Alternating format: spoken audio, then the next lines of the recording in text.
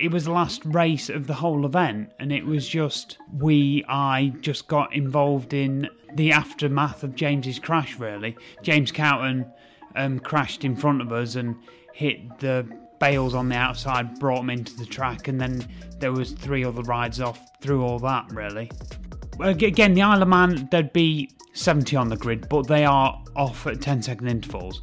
Where the Southern 100, there is 40 mass start. When, when the accident happened in the Isle of Man, you'd be, I think was three laps into the race.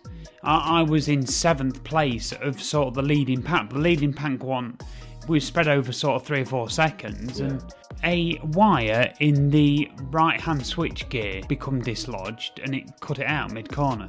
When you expect him to pick the throttle up to drive out of the corner, he couldn't because the bike had cut out, and then that's why he scrubbed too much speed off and clipped the inside wall.